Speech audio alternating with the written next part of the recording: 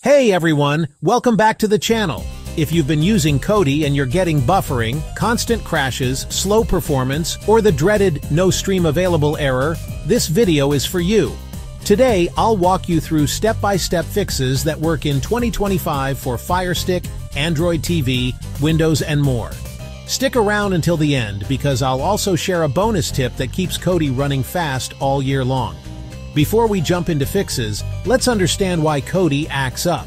Most issues come from slow internet or weak Wi-Fi signal, outdated Kodi versions or add-ons, add-ons that are broken or no longer supported, corrupted cache files that slow everything down, links that are blocked in your region.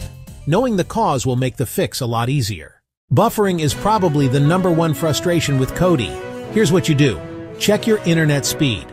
You want at least 15 megabits per second for HD and 25 megabits per second for 4K. Use a wired connection or better Wi-Fi signal.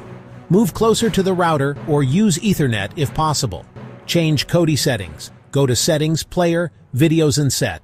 Adjust display refresh rate to off and disable HQ scalers above 20%. Use Real Debrid. This unlocks premium, faster streams that buffer less. If Kodi keeps closing on you, try this. Update Kodi to the latest version. Older versions can conflict with newer add-ons. Update or remove old add-ons that haven't been maintained.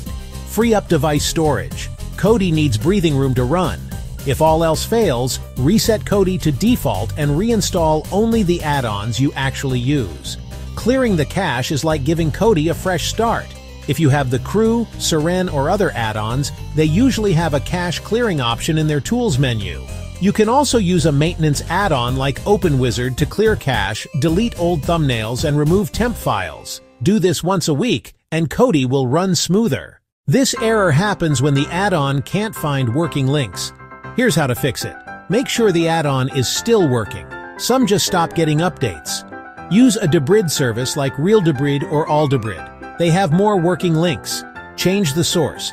Try another add-on with the same content. Use a VPN. Sometimes streams are blocked in your country. There you go. Buffering fixed, crashes stopped, cache cleared, and no stream errors solved. Remember, keep Kodi updated, clear the cache regularly, and use quality add-ons. If you found this helpful, hit the like button, subscribe for more Kodi tips, and drop a comment if you want me to cover advanced hidden settings next time. Thanks for watching. Happy streaming!